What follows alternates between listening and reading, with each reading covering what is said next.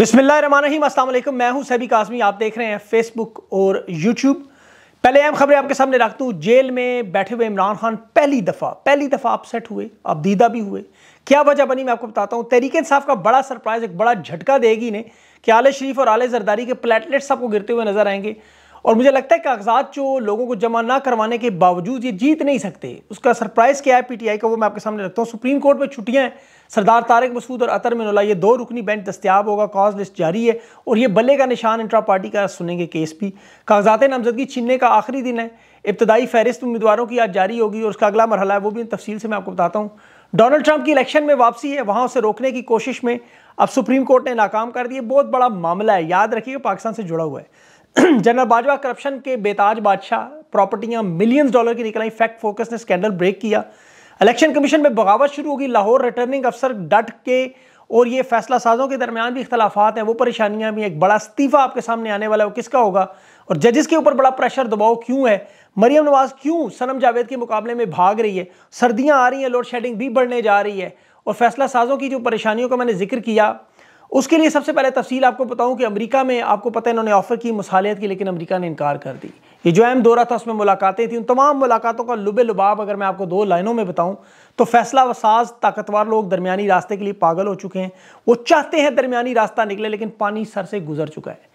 ये सब चाहते हैं कि ऐसा मुल्क, कोई ऐसे लोग दरमियान में जो मुसालियत करवाएँ, क्योंकि एतमाद नहीं है किसी को एक दूसरे पर।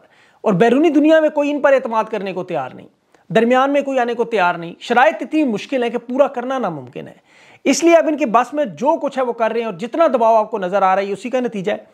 अरब ममालिक को बुलाया गया, उन्होंने भी इनकार कर दिया। बाकी इस वक्त जो भी सामने आए वो परेशान है। सांप जख्मी है और जब जख्मी हो तो ज़्यादा ख़तरनाक होता है। और जिस तरह अब सांप की बका का मसला है, इसी तरह उन्हें खुद नहीं पता चल रहा है क्या कर रहे हैं। ये खान को अजियत पहुँचाने की कोशिश कर रहे हैं और ये पहली दफ़ा कामयाब भी हो गए। खान कल पहली दफ़ा परेशान भी नज़र आया अब दीदा भी हुआ, लेकिन वजह क्या थी? वजह थी उस्मान डार की वालदा। गिरबान चाक होने का पता चला, बलोचिस्तान से आई हुई माओ बहनों बेटियों के साथ जो सलूक है वो पता चला। पाकिस्तान की बेटियों के साथ जो हो रहा है, वो पता चला। खान को अफसोस था, मैं कौम के लिए कुछ नहीं कर रहा, मैं जेल में हूँ।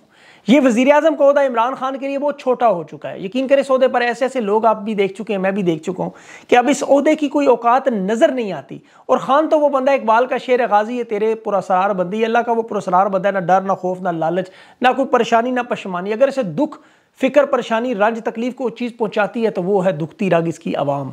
इसके लोग तकलीफ़ में हो तो इस मछली की तरह तड़पता है, जिसे पानी से बाहर निकाल दें। तहरीक इंसाफ के लोग, याद रखें मेरी बात, ये जो कुछ आपको नज़र आ रहा है वो हो नहीं रहा और जो हो रहा है वो आपको नज़र नहीं आ रहा। तब्दीली आप कहते हैं, नज़र नहीं आ रही, लेकिन तब्दीली आ चुकी है कब की। ये आपके अपना ये सारा काम खुद ठीक करेंगे, ये खुद तस्लीम आप कर रहे हैं। देखिए, इलेक्शन कमीशन के अफसरान, रिटर्निंग अफसर खुद कह रहे हैं कि पुलिस की मुदाखलत और बदसलूकी, उम्मीदवारों के खिलाफ मामला ये सारे खुद लाहौर से जो लोग हैं, इनके अपने घरों से बगावत का आलम उठ रहा है। मैं आगे तफसील चल के बताता हूँ आपको। आज कागजात छीनने का आखिरी दिन याद रखें, बिजली के बिल और खून के पेशाब की रिपोर्ट लेके जाने वाले लोग एहतियात करें, कसाब एहतियात करें, छिछड़े फिफड़े हड्डियाँ संभाल के रखें, क्योंकि हल्के अपनी ज़बानें निकाल कर आज बहुत बेकरार होंगे।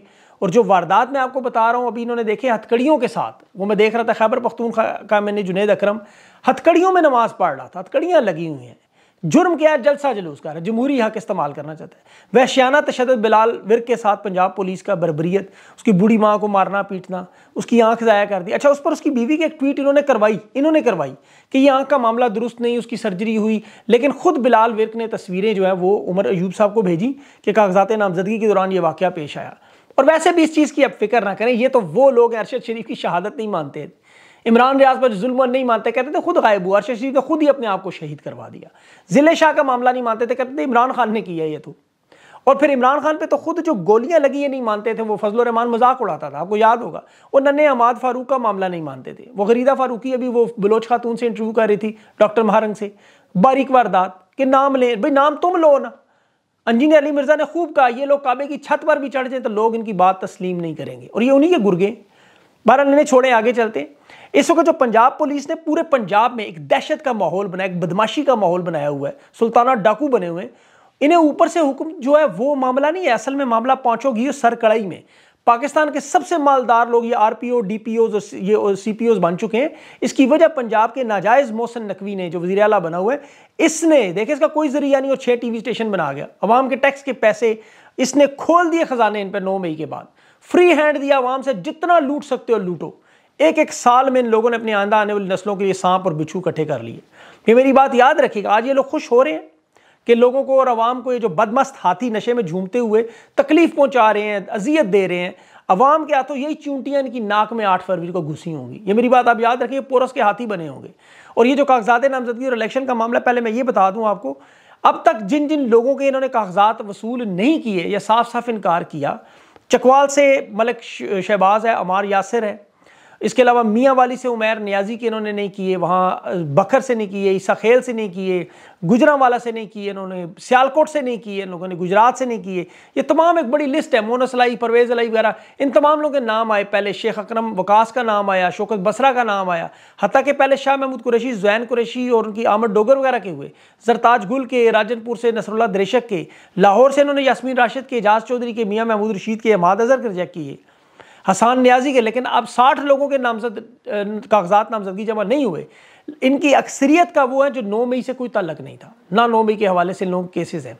लेकिन अभी इन्होंने प्रेशर आने के बाद जब इन्हें पता चला कि इलेक्शन बिल्कुल ही मुतनाज़ा हो जाएँगे, चौधरी परवेज़ लाई मोनस लाई कैसरा लाई साहिबा के, शाह महमूद कुरैशी, जैन कुरैशी, मेहरबानों के, इनके कागजात जमा हो चुके हैं। फिर मियाँ शबीर अली कुरैशी के कागजात भी इन्होंने जमा कर लिए। अब यासमीन राशिद साहिबा की भी नामजदगी के नवाज़ शरीफ के मुकाबले में जो एन एक सौ तीस में लड़ेंगी, वो भी जमा हो चुके हैं। मरियम नवाज़ भाग रही है सनम के, जहाँ वो जमा कराती है, मरियम नवाज़ हल्का छोड़ देती है। ये 25 से 30 दिसंबर तक कागजात की जाँच पड़ताल होगी और फिर तीन दिसंबर को एपलेट ट्रिब्यूनल बना के के जो अपील होगी, वो सुनेंगे। अब मखसूस नशस्तों पर एक सौ छियासी खवतिन ने जमा करवाए हैं पंजाब में। और ये बहुत बड़ी लिस्ट है जो अकलीतों समेत एक सौ सात उम्मीदवार अकलीतों में भी आई। ये एक बहुत बड़ी लिस्ट है और ये बहुत बड़ा फ़र्क डालेंगी असम्बली में। के पी में इन्होंने कहा, जी हमें बैतालीस हज़ार मजीद सिक्योरिटी हलकार दें, वफाक ने एफ़ सी दे रहा है। फ्रंटरी कोर्ट वाले। तो ये जो मामला हैं, इनके चल रहे हैं, इसके साथ साथ अभी अदालतों की अगर बात बताऊँ तो सोमवार का दिन, छुट्टी क्रिसमस की वजह से, तहरीक इंसाफ अदालत में जाएगी, मंगल को और बुध को केस शुरू होगा। अब Tehreek Insaf intra party election और बल्ले का निशान सुने, अब इनकी किस्मत अच्छी है कि इलेक्शन कमीशन खुद इनकी मुहिम चला रहे हैं। ये जितना जुल्म और जबर कर रहे हैं सोशल मीडिया के ज़रिए आवाम तक एक एक खबर पहुँच रही है। अवाम में इंतकाम का जज्बा वोट से, जुल्म का बदला वोट से, ये जो इंतकामी कार्रवाइयाँ कर रहे हैं, इससे इजाफा हो रहा है मकबूलियत में। ये आखिरी साजिश इनकी क्या कर सकते हैं कि मुस्तरद करें कागजात लेकिन तरीके साहब ने सरप्राइज़ रखा हुआ है, वर्कर्स ने बड़ी तादाद में जमा करवाए हुए हैं। अब उन उम्मीदवारों के जिनके मंजूर हो जाएँगे वर्कर्स, वो इलेक्शन लड़ेंगे वही काफ़ी होगा तहरीक साहब के लिए। तहरीक इंसाफ को किसी बड़े नाम की ज़रूरत नहीं है। और दूसरा जो अभी सर्दी की छुट्टियों की वजह से छब्बीस से उनतीस तक सुप्रीम कोर्ट में सिर्फ़ दो जजेस हैं, सरदार तारक मसूद और जस्टिस अतर मिनल्ला ये कॉज लिस्ट जारी होगी, अब बल्ले के निशान इंट्रा पार्टी का इलेक्शन भी सुनेंगे और आप देखेंगे, इंशाल्लाह वो भी मामला रिवर्स हो जाएगा। और मैंने आपको बताया कि घरों से बगावत का अलाम उठ रहा है, जो दिन दिहाड़े जुल्म हो रहा है जबर हो रहा है, ये जो आपकी वीडियोज़ लोग देखते हैं, ये जस्ट अतर मिनल्ला साहब ने उस्मान डार की वालदा का ज़िक्र खुद किया। ये सुनते भी हैं, देखते भी हैं, मैं आपको यकीन दिलाता हूँ, मैं बता नहीं सकता कि मेरी वीडियोस तक इन तक पहुँचती हैं। इनके ज़मीर पर बोझ है। ये हमारे अल्फाज ताजियाने हैं, जो इनके ज़मीर पर लगते हैं। और जुल्म और जबर की रात को नींद नहीं आती। ये भूल जाए, ये लोग कुछ सख्त पत्थरों के नहीं बने, ये भी दबाव का शिकार है। काजी फायज इतने दबाव का शिकार है जैनी इमराज के डॉक्टर के पास जा पहुँचा। जज आमिर फारूक को पता है कि उसने इंसाफ का खिलवाड़ किया। अल्लाह की अदालत में मुजरम है, छुट्टी पर जाने का मकसद क्या है? कुछ फैसले बेहतर हों। अपने ज़मीर के इस बोझ को बर्दाश्त नहीं ये इंसान है, याद रखें। रात को सोते हैं ये भी खाते पीते आप और हमारी तरह ही। ये जज आमिर फारूक इमरान खान के साथ क्या ना इंसाफियाँ कर गए? मैं आपको जल्दी से बताऊँ तो क्या वो सो सकता है रात को? तोशाखाना केस में इसने। खान ने कहा, मुझे अतमाद नहीं ये बार बार रिमांड करता रहा। नौ मई को खान के अगवा को इस शख्स ने कानूनी करार दिया। साइफर केस की जमानत की दरख्वास्त इसने लेट फैसला दिया, महफूज किया और ग्यारह दिन बाद फैसला दिया। बगैर कानूनी जवाब के जमानते साइफर किसने मुस्तरद की। मुकदमे को खारिज करना, ट्रायल रोकना, खुफिया ट्रायल रोकना, ये तमाम दरख्वास्तें मुस्तरद करता रहा। वो, आपको पता है, वो टरियान वाइट केस में दो जजेस ने फैसला किया, इसने आज तक दस्तखत नहीं किए। खान को खाना दिलवाना एक्सरसाइज के मामले से लेके खान के जख्मी होने पर जब वो ये मजबूर करता रहा बायोमेट्रिक करवाओ, और गाड़ी बाहर गेट के बाहर खड़ी करवाता था, पैदल चल के आए खान, तकलीफ़ देता था। सिक्योरिटी इसने जिस तरह भी नवाज़ शरीफ के मामले में आपने देखा पूरे पूरे गरले अंदर घुस रहे हैं उसके। सिक्योरिटी के मामले पे उनकी बा, बातें सुनता रहा। जुडिशल कम्प्लेक्स का जो वाक़ हुआ फिर वजीराबाद में जो हमला हुआ खान को शदीद बुखार में ये लोग बुलाता रहा। सिर्फ़ और सिर्फ़ अपनी दुश्मनी में क्योंकि प्रेशर था। ओपन ट्रायल जेल के अंदर केसेस की दरख्वास्तें शख्स ने सारी मुस्तरद की। अब ज़मीर को चौके तो लगाता है ये जो हमारी बातें पहुँचती हैं खुदा की कसम पहुँचती हैं इंसाफ और कानून का खिलवाड़ ये कर रहे हैं। ये दूसरा बड़ा शख्स है इसका ज़मीर इसे मलामत कर रहा है। और इसीलिए जा रहा है। सरदार सिकंदर सुल्तान राजा, वो कमिश्नर इलेक्शन कमिश्नर मुंशी साहब, जुल्म और फस्ताइत की फ़जा बनाने में सबसे अहम किरदार उस शख्स ने अदा किया। अब मैं आपको खबर दे रहा हूँ इसी के इस्तीफ़े के बारे में और उसकी वजह भी देखें क्या है। इनके अपने घर से बगावत शुरू हुई इसकी बेगम, बेटी और दामाद, जीना उन्होंने हराम किया हुआ इसका। वो देखते हैं सब कुछ, वो सुनते हैं हमें। जनवरी के पहले हफ़्ते में इसका इस्तीफ़ा आ गया हैरान ना होइएगा। अभी इस पर दबाव डाला जा रहा है कि इस्तीफ़ा किसी सूरत में नहीं देना। लाहौर में रिटर्निंग अफसर क्यों डट गए हैं? इलेक्शन कमीशन मजबूर हो गया, खुद नोटिफिकेशन जारी कर रहा है, तस्लीम कर रहा है। ये जो गदर मची हुई है, इसको मान रहा है कि पुलिस वाले मुदाखलत कर रहे हैं, उम्मीदवारों से बदसलूकी कर रहे हैं पेपर छीन रहे हैं उनसे। अब देखें, लाहौर में जो रीजनल कमिश्नर है, आमिर डोगर डोगर साहब है, नाम पता नहीं उनका क्या है, उन्होंने भी खत लिखा पूरा एक डिस्ट्रिक्ट इलेक्शन कमिश्नर लाहौर को। उसमें अनम परवेज साहब एक खातून है, उनका नाम है। अब ये चारों के चारों आर इकट्ठे हो गए उन्होंने बगावत इनका बर्दाश्त नहीं करेंगे, ना इंसाफ़ी हो रही है, जुल्म हो रहा है। इस तरह कभी नहीं हुआ। उम्मीदवारों के साथ जो हो रहा है। तहरीक साफ़ ये ख़त सुप्रीम कोर्ट लेके जाएगी और देखेंगे अल्लाह ताला तकरीब में से तामीर का मामला निकालेगा। और तहरीक साफ़ के सारे पूरे होंगे छला नॉमिनेशन के पेपर्स आप लोगों ने जुल्म का बदला, अपने वोट से लेना है।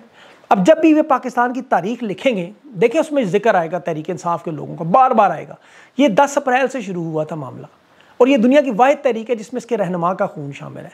इसमें सहाफ़ियों की कुर्बानियाँ शामिल हैं, सियासतदानों की कुर्बानियाँ शामिल हैं, पाकिस्तान की खवतिन की कुर्बानियाँ शामिल हैं, पाकिस्तान के मासूम बच्चों की कुर्बानियाँ शामिल और तो और पाकिस्तान के माजूर स्पेशल लोग, ज़िले शाह, मियाँ आबाद नना आबादी, अरशद शरीफ, इमरान रियाज, रिहाना इम्तियाज़ डार ख़वान सारी पूरी लिस्ट है जो जेलों में है।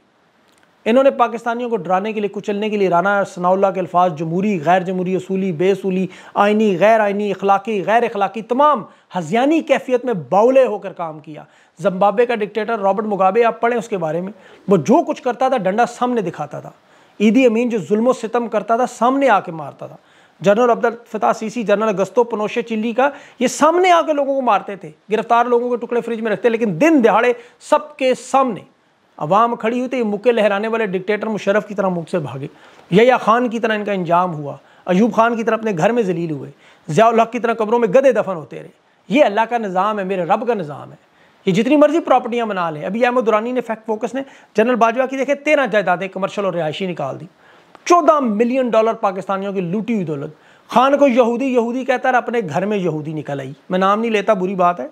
लेकिन अल्लाह ने दुनिया में ने दिखा दिया कौन कौन लोग चोर डाकू ये निकले। खान पर इन्होंने इल्ज़ाम लगाया चाँद की तरफ़ थूकते मुँह पे अपने आके गिरा।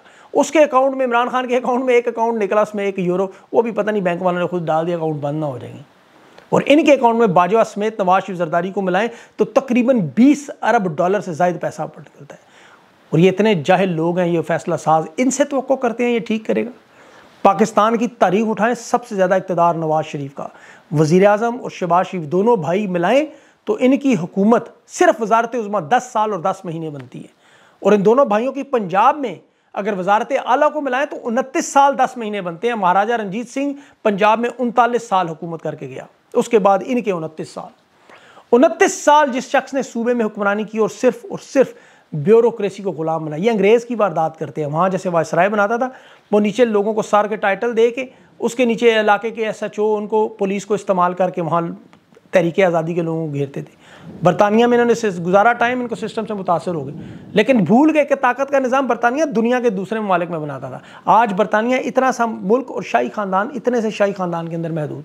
वजी अजम का तो टेन डाउनिंग हाउस देखें, दो दो सौ बयासी साल से तीन कमरों का घर मुश्तमिल है। बादशाह भी नहीं जा सकता, अवाम भी नहीं जा सकती, उन्होंने तो इंसाफ पे बना दी बड़े सगीर वाला मॉडल ये नवाज़ शरीफ ले आए यहाँ उठा के। लोगों को अपने कब्ज़े में करना, उन्हें उठाना, उन्हें मारना। बांग्लादेश में जिस तरह वो कंपनी ने वहाँ पे गुंडों को इस्तेमाल किया, औरतों पर हाथ डाला, इन्होंने भी वही शुरू कर दिया। लेकिन इंजाम इसका एक ही और बड़ा सादा आठ फरवरी इन शजीज़ मेरे रब का इस पे इनशाला करम और फजल होगा, पाकिस्तान इनके तसल्लुत से निकलेगा। आप लोगों ने बस मायूस नहीं होना, ये जो मर्ज़ी कर लें। ये जो उम्मीदवार आपके सामने नज़र आ रहे उठाने वाले बड़े बड़े नाम, अब आप यकीन करें, पाकिस्तान की सियासत में बाखुदा कोई इलेक्टेबल बड़ा नाम नहीं ज़रूरी। खान का सिर्फ़ ना, बल्ला भी नहीं ज़रूरी, कुछ भी नहीं ज़रूरी। बस तुम लड़ो एक दफ़ा इंतखब। बात अब सिर्फ़ मामला है। आ जाओ मैदान में एक बार। मैदान में ये सजेगा, ये जो मर्ज़ी कर ले। आप लोगों ने इंशाल्लाह इतनी बड़ी तकसरीत में निकलना है। ये मेरा दिल गवाही देता है। जहाँ जहाँ ये पैगाम पहुँचता है, उसे पहुँचाएँ। बाहर निकलें और वोट पे इंशाल्लाह ठप्पे पे ठप्पा मार के इन लोगों को। जितना एक हर एक ठप्पा आपका जो होगा वह जुल्म की, इस फस्ताइत के ख़िलाफ़ आपका जिहाद होगा इन पुरमन एतजा से आप ये जीतेंगे जाऊँ अल्लाह पाकिस्तान को कायम दायम रखे अपना ख्याल रखें मुझे इजाज़त अल्लाह